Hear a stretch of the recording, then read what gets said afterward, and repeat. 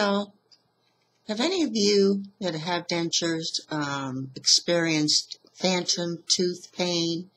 I know I have. Um, it's progressively getting less and less as uh, time goes by, but it was really strange when I experienced it the first time.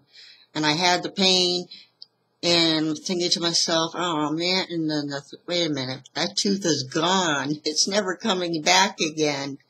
No more tooth pain, but I have this weird sensation of pain right now. Go away. But it only lasted a few seconds and then it went away. Um,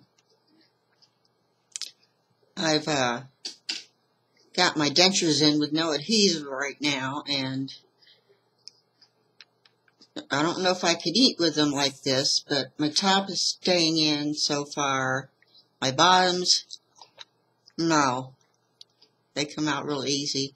Um, so I can function without the adhesive, but uh, when, like I said, when it comes to eating, that's probably going to be a different story. I'm so tired of using that goop sticking to my gums and taking 15, 20 minutes to get it all off, even though, you know, I've used the warm water and the mouthwash and my baby toothbrush and paper towels and toilet paper.